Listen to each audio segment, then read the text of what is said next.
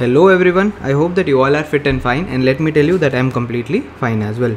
In this video, we are going to discuss what are all the updates in the capital gain, capital gain chapter for the May 24 and November 24 exam onwards. Fine, so these are all the new updates that are applicable from May 24 and November 24 examination onwards. First and foremost, let us come to the transactions not regarded as transfer. Section number 47 transactions not regarded as transfer. In this, there is a new point which is conversion of EGR into gold and vice versa. So, firstly, to understand this provision, we need to understand the concept of EGR. If you are able to understand the concept, then the provisions become very, very easy. And there are interlinking provisions also that also I will explain now itself so that you can have a wholesome understanding. First and foremost, sir, what is EGR? EGR stands for electronic gold receipts. Electronic gold receipts. Now what is this EGR sir and what is the use of EGR and why is there a provision in income tax act? Let us try to understand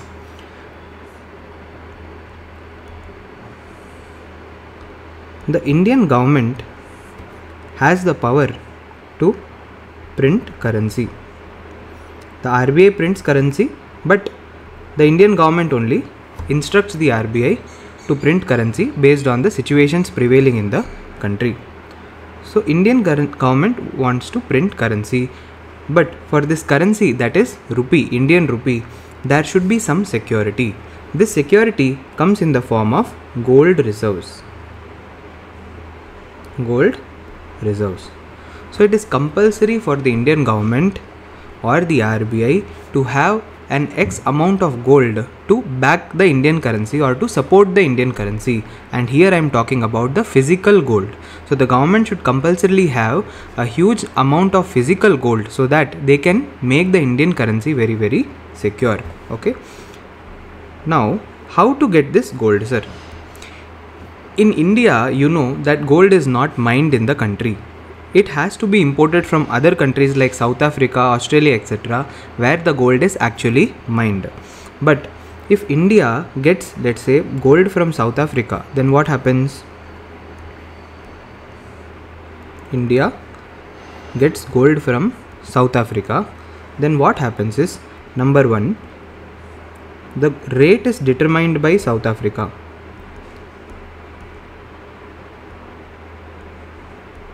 that is the first thing because control is in the hand of the supplier. However this is not a very big problem because more or less the rates of gold is standard in the entire world. But there is one more big problem and that is indian government have to spend foreign currency foreign currency to buy this gold. So this is a very big problem because the Indian government wants to have as much foreign currency as possible in India so that they can use this foreign currency to pay off their foreign currency loans, foreign currency interest, foreign currency trades, etc. That is why it is important to have as much foreign currency as possible but so much amount of foreign currency Indian government has to spend to get this gold. So what does the government do? The government has found out another solution for this problem. Now, to have physical gold with them, the Indian government thought that so many Indians are having kilos and kilos of gold, tons and tons of gold in their houses itself as their savings. So, why not we get the gold, physical gold from the people and use that as the reserve for our currency? Hence, they brought a concept called EGR. EGR that is electronic gold receipt. Now how does the EGR work sir? First and foremost there is a organization called SEBI correct? You know about SEBI. I need not explain further. SEBI gives rights of issuing EGR to Vault Manager. Vault Manager. Okay, so if I am a company, I have to satisfy certain conditions. And if I register with SEBI even I can become a vault manager. Now what will this vault manager do? The vault manager will collect gold from people. Okay? And they will give electronic gold receipts to the people. Let's say let's take an example of mr a. So mr a is a person he will give gold to the vault manager and he will collect the electronic gold receipt from the vault manager. Sir what is the benefit of mr a to give the gold and get the gold receipts? The benefits are number 1 electronic gold receipt value is always same as gold. Value is same as gold so if gold's value is let's say 6500 then electronic gold receipt value also will be 6500 tomorrow if gold value will be 7000 then electronic gold uh, receipt value also will be 7000 so the value of both of them will be same hence what Mr. A can do if Mr. A has taken uh, gold as an investment he wants to save the gold for future purpose anytime he can go to the vault manager give his physical gold and get electronic gold receipt this electronic gold receipt is issued in demat form kana like how shares are issued in demat form similarly even egr is issued in demat form. Now what is the advantage of this demat form? It means that this electronic gold receipt you can also buy and sell in the stock exchange. So if you have any broker account like a Motilal Oswal account or a Zerodha account or a Groww account, you can sell and buy electronic gold receipts online also anytime you want at the current prevailing price of gold. You get my point? So now what is the benefit for Mr. A? Now Mr. A has no tension at all because if gold is in their house, they have to safely keep gold in a locker or they have to safely keep it in their house. So there is always that stress that someone might come and steal their gold and some other uh, charges are also associated with keeping the gold physical gold with them so instead what they can do they will pay some minimum conversion charges uh, convert this gold into electronic gold receipt at any time and also, sir, can electronic gold receipt be converted to physical gold? Yes, it can be converted into physical gold also. So, you can either give gold and get EGR or you can give EGR and get gold. So, the benefit of Mr. A is that he need not have the stress of having uh, the physical gold making it secure and having a storage place for that gold. Instead, he can easily have an EGR in his demat account and trade it whenever he wants. And whenever he wants, if he wants physical gold, he can convert it anytime into physical gold. That is the benefit for Mr. A. Now, what is the benefit for the government? The benefit for the government is that this vault manager will keep this gold safely. Keep this gold safely in the vault and this gold will become a very good security for the Indian currency with the Indian government. The gold deposits of the Indian government will increase. So for both of them it is a win-win situation. You get my point? So this is electronic gold receipt concept karna. Now what happens is see gold is a capital asset. Similarly, even electronic gold receipt is an instrument and that is why it is also a capital asset. Since both are capital asset, if you are giving one capital asset and getting one more capital asset, it is exchange. Exchange is also a transfer and hence capital gain will arise on the conversion of gold to electronic gold receipt. But you tell me honestly, if someone will put capital gain on conversion, then will anyone convert their gold into gold receipt? Answer is no. That is why the Income Tax Act tells that if you convert electronic gold receipt into gold, or if you convert gold into electronic gold receipt then this transaction will not be regarded as transfer. Okay so let's come back to this page. So conversion of electronic gold receipt into gold and gold into electronic gold receipt is not regarded as transfer. Here you please write in some small wordings wherever you find space that electronic gold receipt is issued by whom? Vault manager registered with SEBI. Registered with SEBI. right now there are only two companies that are registered as Vault Manager with SEBI. If you Google their name, you will also find out their name. Fine. So this is the concept of electronic gold receipt. Now let us also read the related provisions. Okay. Let us jump to page 10.6 where we are discussing the cost of acquisition and period of holding. See here Kanna, I know that you will automatically understand this concept but still for the sake of teaching I am teaching this concept. Okay. Elect if gold is converted to electronic gold receipt or electronic gold receipt is converted into gold then what will be the cost of acquisition of the new asset okay this concept is same as the concept that I already taught you. If assessee sold the asset and converted into new asset and conversion was not a transfer, then cost of acquisition is the cost of acquisition of the old asset and period of holding and indexation also will be from the old asset. So in this only one more example has been included. Hence if gold is converted into see here if gold is converted into EGR. Let's say this gold was purchased at rupees 10,000 and it was uh, purchased on 1st of February 2005 and it was converted in 10th of March 2024 fine. Then sir what will be the cost of acquisition? The cost of acquisition of EGR of EGR will be how much? Rupees 10,000. I am not considering indexation. I am just telling the cost. After this you have to apply indexation also. Fine. And what will be the period of holding? The period of holding will start from 1st of February onwards. You get my point? So read this one time. Period of holding of gold will be the period for which the gold is held prior to conversion.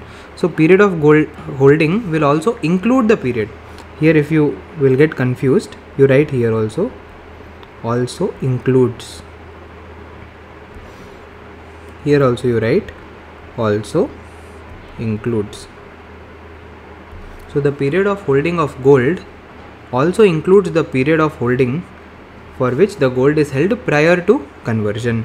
Similarly the period of holding of EGR also includes the period for which the EGR is held prior to conversion. So from the period of the old asset you have to calculate period of holding. And cost of acquisition will be cost of gold before conversion. Cost of gold will be the cost of EGR in the hands of such person. You get my point? I hope this electronic gold receipt concept is clear. Now let us move to the next concept. Okay. Cost inflation index. In the previous videos you had learnt about the cost inflation index of a before year. Now we are learning the cost inflation index for previous year 23-24 which is what assessment year 24-25. So in your examination that is May 24 and November 24 examination the relevant year is previous year 23-24 and assessment year 24-25. So for this previous year the cost inflation index is how much? 348. So you have to do all the calculation keeping the cost inflation index as 348 in mind. You get my point? This you have to by heart. If any other year is given in the examination, for that the question paper itself will contain cost inflation index. So you will be able to solve the answer easily. Now one more provision was added in this cost of acquisition and cost of improvement karna. Now what is this provision? See here cost of acquisition of asset or the cost of improvement thereto would not include the deductions claimed on interest claimed on interest under section 24b under the provisions of or under the provisions of chapter 6a here you can write 80 EE and 80 EEA please write 80 EE and 80 EEA let me explain you this concept this is very very logical even if i did not teach you you will answer this uh, you will solve this question correctly only but still let me teach you the concept let's say there is a house karna okay this house was purchased by mr a for 1 crore rupees To purchase the house, Mr. A also took a loan of rupees 1 crore. Fine. On this, Mr. A pays 10% interest. How much? 10% interest, which is how much? 10 lakhs. 10 lakhs is paid as interest. Now, is this 10 lakh interest allowed as deduction? Yes or no? Answer is yes. In income from house property chapter, if a house is purchased, then the interest on housing loan is allowed as deduction. If it is a self occupied property, then up to 2 lakhs. And if it is not a self occupied property, rented property, uh, if it is a rented property or deemed to be let out property, then it can go more than 2 lakhs also. It can be entire 10 lakhs also. Now let us assume this entire 10 lakhs is allowed as deduction under section 24b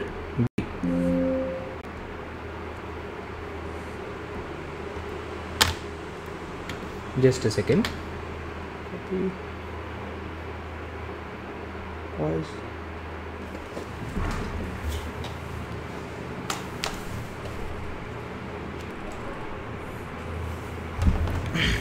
okay let's continue. Let us assume this entire 10 lakhs is allowed as deduction. Allowed as deduction under section 24b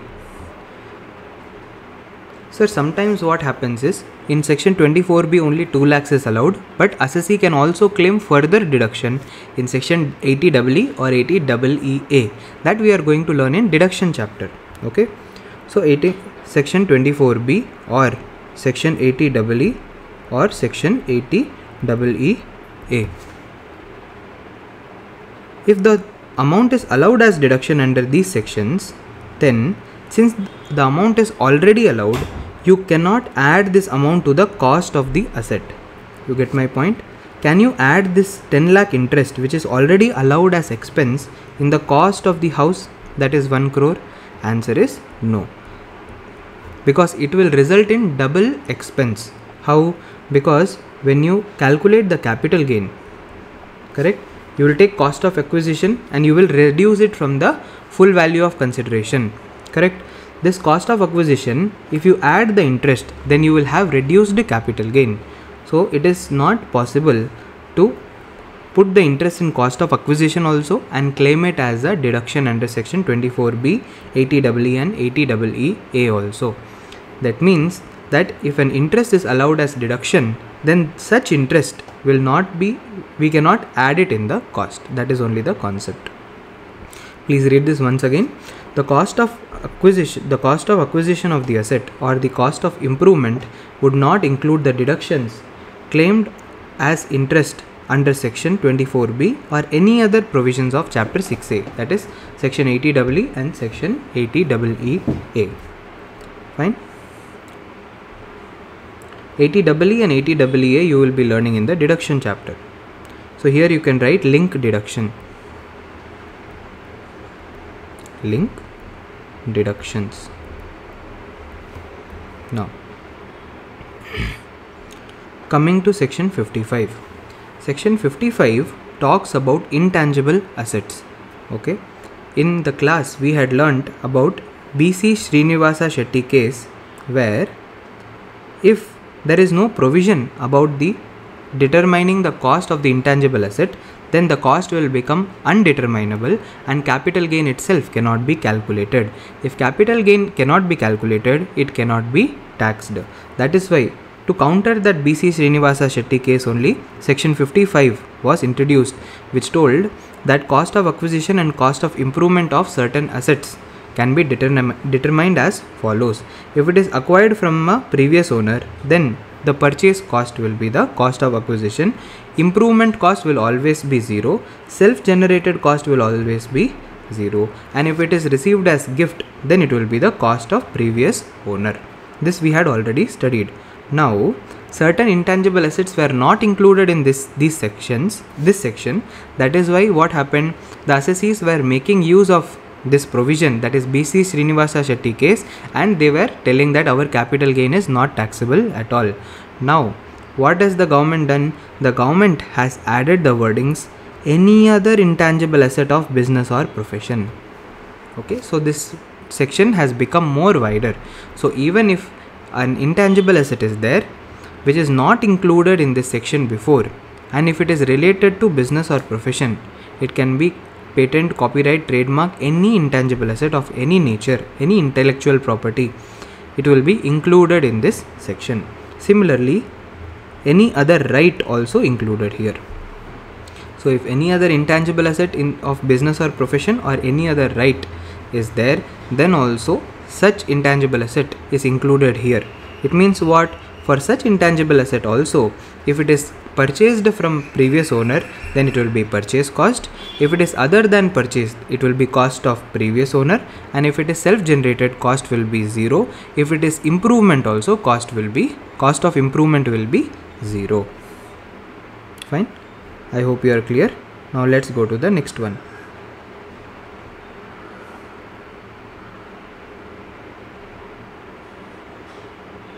Okay Kanna, we had studied about unit linked insurance policy, but a good news for you ICAI has removed some part of syllabus from your uh, removed some part from your syllabus and that is section 45 1b and also 4th and 5th proviso of section 1010d so the calculation of capital gain on unit linked insurance policy and also the exemption in 1010D related to unit linked insurance policy is not applicable in your syllabus. It is not applicable for your examination. But does it mean that it is removed from Income Tax Act? Answer is no, not at all. These provisions are still there in the Income Tax Act. If you know the provisions, well and good, no problem. If you do not know the provisions also, no problem. Fine. But we had studied the definition of capital asset. There we had studied about unit linked insurance plan. Sir, is this point in the syllabus? Answer is yes. This point is still there in the syllabus and you have to study Kanna. Fine. So, what is removed? Section 45.1b is removed from syllabus. Fourth and fifth proviso of 1010d, this that we have, uh, this has been removed from syllabus. And also, when we studied section 111a and 112a, we had studied about equity oriented fund. There also we we saw a point relating to ulip. So this point has also totally been removed from the syllabus. Okay? Hapada some burden has been reduced in capital gain. Correct? Now let's come to next change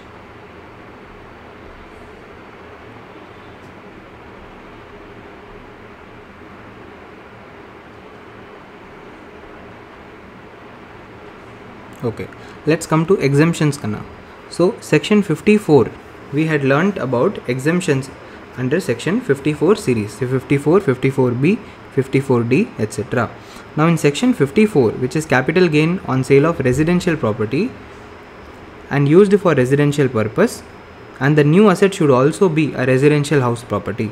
In such case what is the new provision? The new provision is that the maximum exemption has been limited to 10 crore rupees. Maximum exemption is how much Kanna? 10 crore rupees. It means what? The cost of the new asset maximum should be 10 crore. Sir, what if it is 100 crore?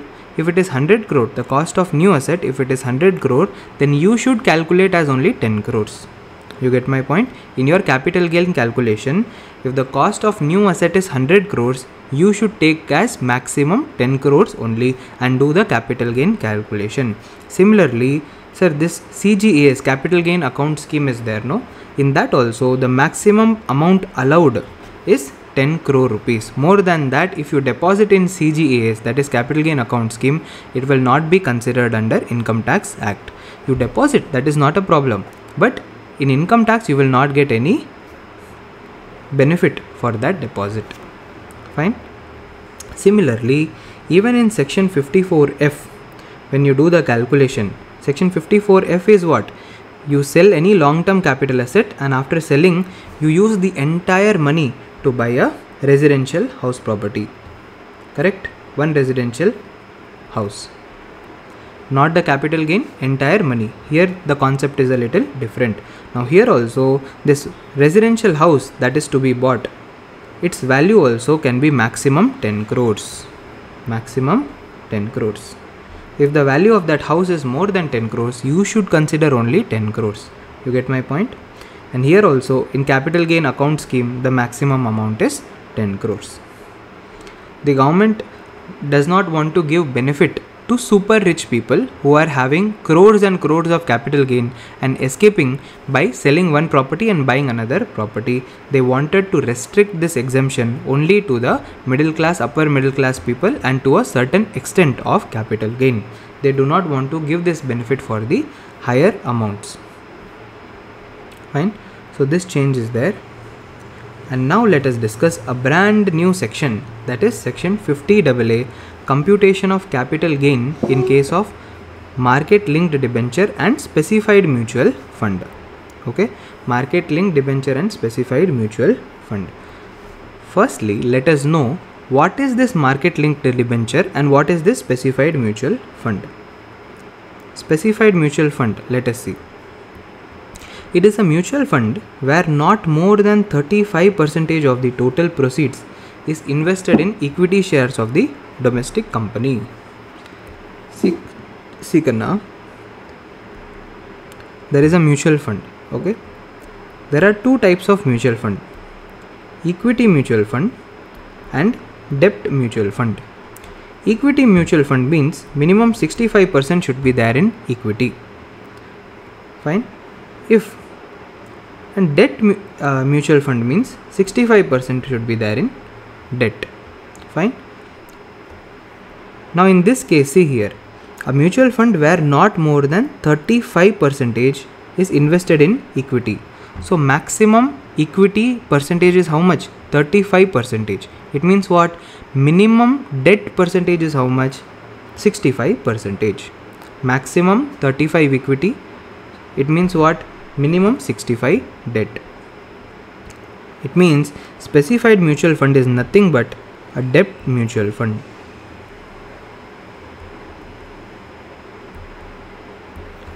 Where not more than 35% means max to max 35% is invested in equity shares. And how is this 35% calculated? This 35% is calculated by taking the annual average of the daily closing figures. So every day they will take the closing amount and they will take the average of the closing amount of all the days in the year and then they will decide the percentage. This is how the percentage is calculated. This is specified mutual fund. Now let us see what is market linked debenture. Market linked debenture is a security which has an underlying principal component in the form of a debt security and where the returns are linked to market returns on other underlying security or indices. Fine. It includes any security classified or regulated as a market linked debenture by SEBI. So it means what Kanna? Market linked debenture is also debenture. Debenture means what? It is a type of security that represents a loan or a debt. Correct? But here what is different? Generally, if there is a debenture, the debenture will have an interest rate. Correct? Let's say 7% debenture, 8% debenture, 9% debenture. However, in case of market uh, market linked debenture, the debenture will not have a fixed interest rate. Instead, the interest rate will depend on the market condition. It will depend on market condition. Market condition means any other security in the market or index. Indices. Index indices means what? Example Nifty or Sensex. All these are indices. Also, if SEBI is telling that a security is a market de- market linked debenture, then you should also consider it as a market linked debenture. Now, let me give you an example. If you want, you can note this down also to have more clarity. Example A Limited issues a market linked debenture which gives 10% return if the Nifty 50 does not fall by more than 20% during the tenure of the market linked debenture. If it falls, then no return will be given, only principal amount will be repaid. Let me explain. so this a limited is there no? It has given a debenture. Let's say the value of debenture is 1 lakh rupee okay? And it is given for 5 years. 5 years. Now what are they telling? If at all the value uh, if at all the value of nifty 50 nifty 50 nifty 50 is what? It is a index. If the value of nifty 50 goes below 20 percentage so let's say while issuing the debenture the value of nifty 50 was 20000 okay? The value of nifty 50 was 20000 now what are they telling? The nifty 50 price should not go down by more than 20% 20% is what 4000 so it means what during this 5 years, Nifty 50 should never touch 16,000. If it goes below 16,000, then this A limited will not give any interest. However, if during this entire 5 years, not even in a single day, Nifty 50 goes below 16,000, then A limited will give 10% interest. You get my point? Sir, what if there is no interest? it means that only principal repayment will be there at the end of uh, 5 years you will get back the 1 lakh rupees but you will not earn any interest at all you get my point such type of debenture is called market linked debenture fine now what happens no karna this market linked debenture and specified mutual fund okay both of them are actually debt instrument. Specified mutual fund also contains minimum 65% in debt. Okay, maximum 35% equity means what? Minimum 65% in debt. Similarly, even this market linked debenture is a debenture. However, this specified mutual fund and market linked debenture are both traded in the stock exchange. This for this mutual fund also daily NAV will be calculated. Correct? and for market linked debenture also it can be traded in stock exchange. Traded in stock exchange. You can buy a market linked debenture from stock exchange. You get my point? It means what? It means that even though it is a debt okay the value of debt never changes. It will remain constant correct? Since the incremental value is given in the form of interest. See here. If there is a debt okay will the value of debt increase? Answer is no. The value of debt will not increase. It will always remain the same because the debt value is given in the form of interest. This i have already explained you when i was explaining you why there is no indexation allowed on debentures and bonds. That that time i had explained you this concept. Now listen here. Even though the value of debt does not increase but still they are traded in the stock exchange. This market linked debenture and specified mutual fund. Correct? They are traded in the stock exchange.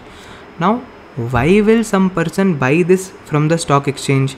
They will buy this only because the price can increase or decrease in the stock exchange it means what the only intention of the person buying a market linked debenture or a specified mutual fund is that they can buy for a low price and sell for a high price.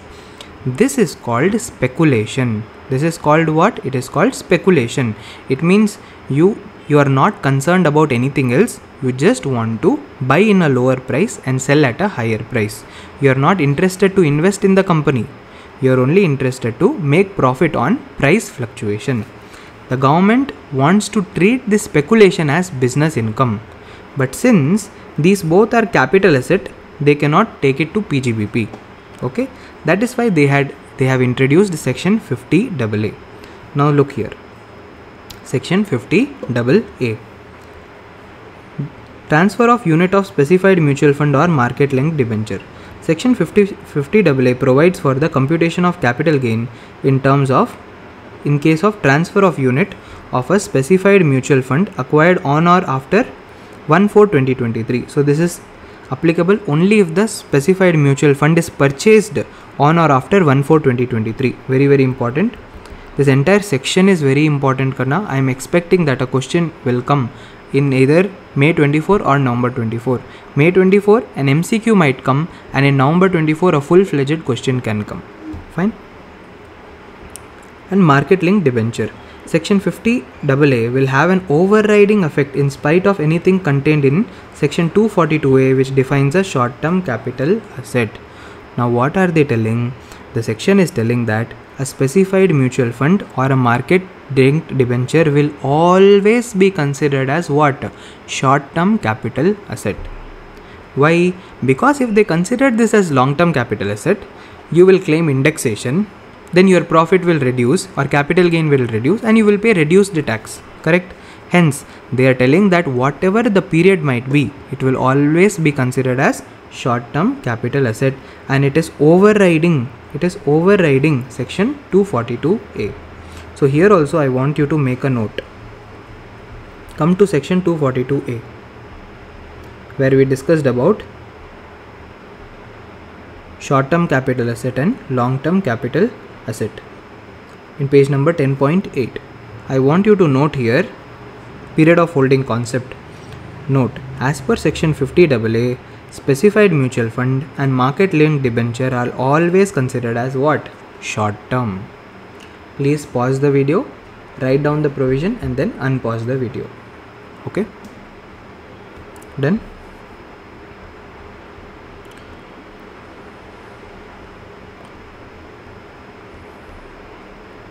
So since it is only considered as short-term capital asset, the capital gain will also be called what? Short-term capital gain and the tax applicable is normal rate of tax. Sir, how to compute capital gain? Capital gain is computed in the normal manner kana. First you have to take full value of consideration.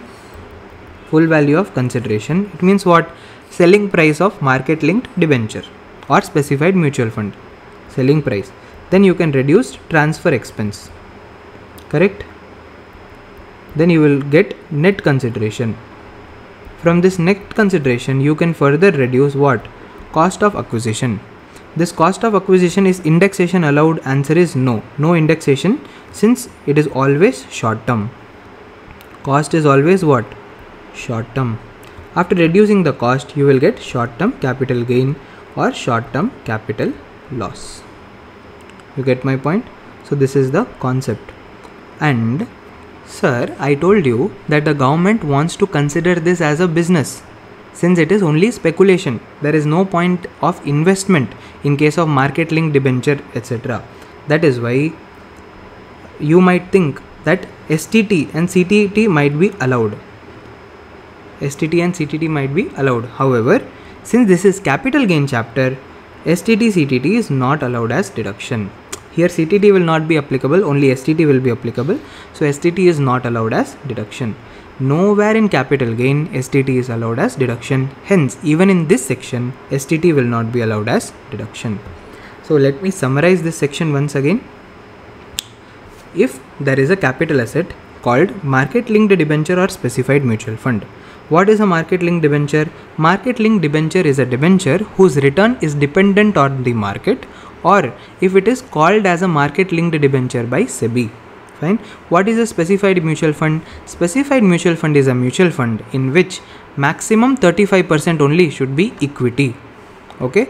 And it should be purchased on or after 1 4 2023 in if you have such capital asset then it is always considered as short term capital asset.